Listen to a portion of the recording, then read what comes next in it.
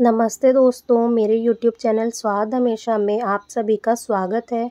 दोस्तों, नवरात्रि शुरू होने वाली है और नवरात्रि में सभी के घरों पे बिना प्याज और लहसुन की सब्ज़ियाँ बनती हैं। तो मैं आप सभी लोगों के लिए लाने वाली हूँ नौ दिन विदाउट ऑनियन एंड गार्लिक की रेसिपी तो आज है हमारा एपिसोड वन जिसमें हम बनाने वाले हैं राजमा।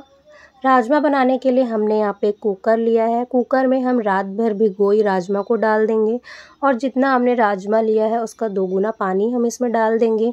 एक बड़े चम्मच हम इसमें नमक डालेंगे और एक दालचीनी का टुकड़ा डालेंगे।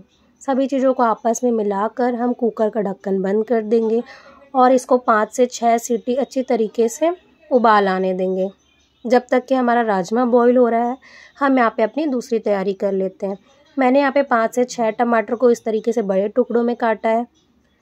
तीन से चार टुकड़े मैंने यहाँ पे अदरक के लिए हैं, चार हरी मिर्चियाँ ली हैं जिसको मैंने बीच से तोड़ लिया है, चार से पाँच काजू है। ये सभी चीज़ों को हम एक पेस्ट बना लेंगे। बिल्कुल इस तरीके से आपको पेस्ट बनाना है। अब हम यहाँ पे अपनी दूसरी तैयारी कर लेते हैं। राजमा हमारा अच्छी तरीके से बॉईल हो चुका है और ये अच्छी तरीके से पक भी चुका है। राजमा का पानी हमको फेंकना नहीं है, हम इसका यूज़ आगे करेंगे। अब हम इसको साइड में रख देते हैं। अब हम अपनी आगे की तैयारी कर लेते हैं। मैंने यहाँ पे कढ़ाई लिया है।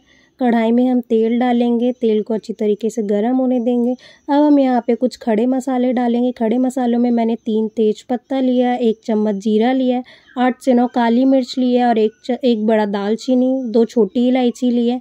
सभी चीज़ को डाल देंगे और अच्छी तरीके से मिक्स कर लेंगे।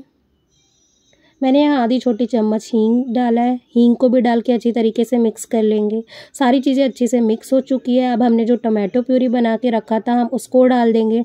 इसको अच्छी तरीके से मिक्स कर देंगे और दो से तीन मिनट इसको अच्छी तरीके से पकने देंगे। देखिए, दो से तीन मिनट हो चुका है और ये सभी चीज़ें अच्छी तरीके से मिक्स हो चुकी हैं। अब हम यहाँ पे कुछ सूखे मसाले डालेंगे। सबसे पहले हम एक चम्मच इसमें नमक डालेंगे। नमक आप ध्यान से डालिएगा क्योंकि हमने पहले भी डाला है। आधी छोटी चम्मच हम हल्दी पाउडर डालेंगे। एक चम्मच भर के हम यहाँ पे तीखी वाली लाल मिर्च डालेंगे।